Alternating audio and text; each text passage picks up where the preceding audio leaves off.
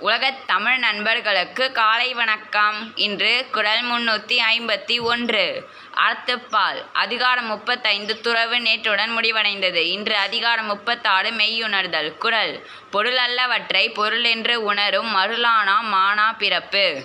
பொருளல்லவற்றை பொருளென்று உணரும் மருளானா மானா பிறப்பு. பொருள் மெய்ப்பொருள் அல்லாதவைகளை மெய்ப்பொருள் என்று தவறாக உணர்கின்ற மயக்க உணர்வால் சிறப்பில்லாத துன்பப் பிறவி உண்டாகும். மெய்ப்பொருள் அல்லாதவைகளை மெய்ப்பொருள் என்று தவறாக உணர்கின்ற மயக்க உணர்வால் சிறப்பில்லாத துன்பப் பிறவி உண்டாகும்.